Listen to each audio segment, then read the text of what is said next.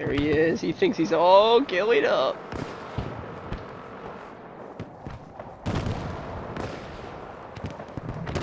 He thinks he's good to go. Holy shit. Oh my god, how did he know? What the hell? How did he know that?